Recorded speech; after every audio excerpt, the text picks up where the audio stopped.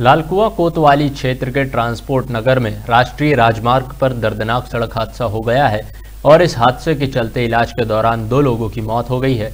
बता दें कि राष्ट्रीय राजमार्ग में बने बेतरतीब डिवाइडर कट में बीच सड़क में बीती देर रात एक ट्रांसपोर्ट नगर क्षेत्र में एक ट्रक खराब हो गया था और हाईवे में रोड को स्थानीय पुलिस ने बैरिकेडिंग लगाकर डाइवर्ट नहीं किया, जिसके चलते हाईवे पर खराब खड़े ट्रक में नगला की ओर से तेज रफ्तार कार घुस गई।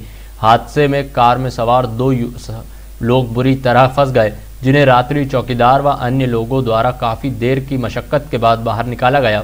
सूचना मिलते ही मौके पर पहुँची पुलिस ने 108 एंबुलेंस के माध्यम से घायलों को राजकीय चिकित्सालय पहुँचाया, जहाँ 45 वर्षीय पंकज शर्मा और उनके दोस्त 40 वर्षीय जगत सिंह की इलाज के दौरान मौत हो गई।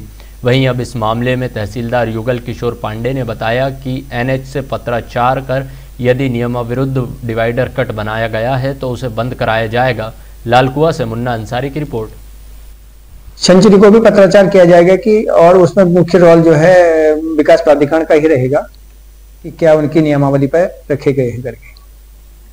एनएच को लिखा जाएगा कि भाई ये, जो आपके द्वारा ये एक लेन से दूसरी लेन को जा रहे हैं, इनमें की वैधानिकता के अनुसार इसको देखें अगर यह वैधानिकता में नहीं है तो इसे बंद कर देगा।